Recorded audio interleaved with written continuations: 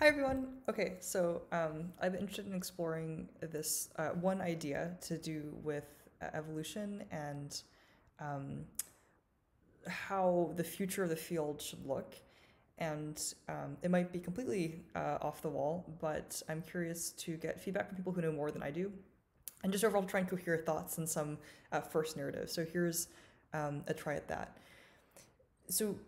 if you look at the history of evolution, it's mostly built around competition. So you, you have kind of a population, one member of the population uh, mutates in a certain way that uh, turns into its ability to take over the full population or become more prevalent um, by sort of having increased individual fitness.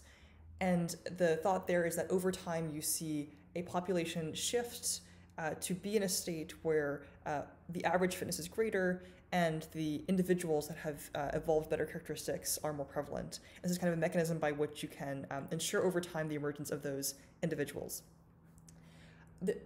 there's, there's kind of a different way of looking at the role that I've been interested in, and I, I, kind of would think about it in a kind of Thomas Kuhn paradigm shift uh, fashion where you know that, that that's kind of the first view of evolution and the second view is quite different in the sense that there's there's kind of a different way to think about a, a sort of evolving function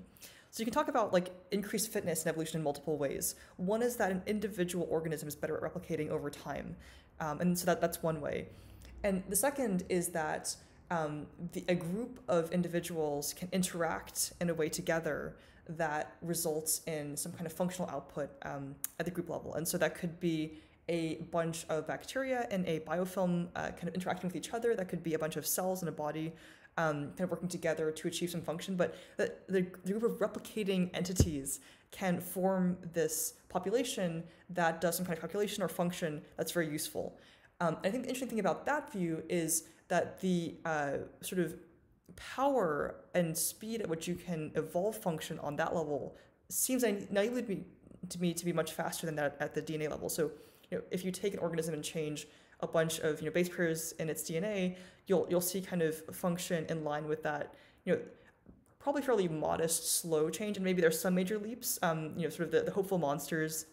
that folks have talked about in the early 1900s, um, but but it's kind of more gradual, and that's kind of what, what Darwin would have, would have spoken about. On kind of the larger scale, sort of population side, if you have one individual organism that changes its ability to do a certain function or to communicate information with other organisms, and that can replicate, you kind of have this ability to exponentially increase the capacity of that kind of first modification to be utilized um, in a way that to me kind of feels like parallel computing. Like you have one node, the node creates like multiple replicants, and then very quickly you have this exponentially scaled kind of system that can do a function.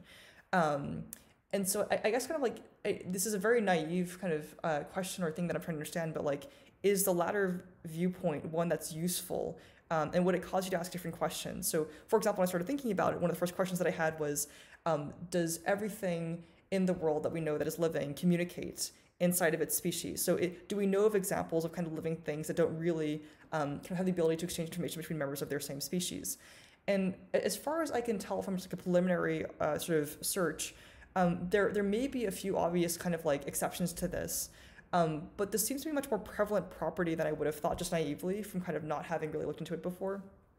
And it's also not one that really is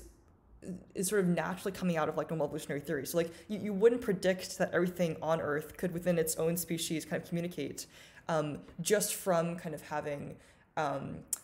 sort, sort of you know known about uh, competition or the way that evolution normally works.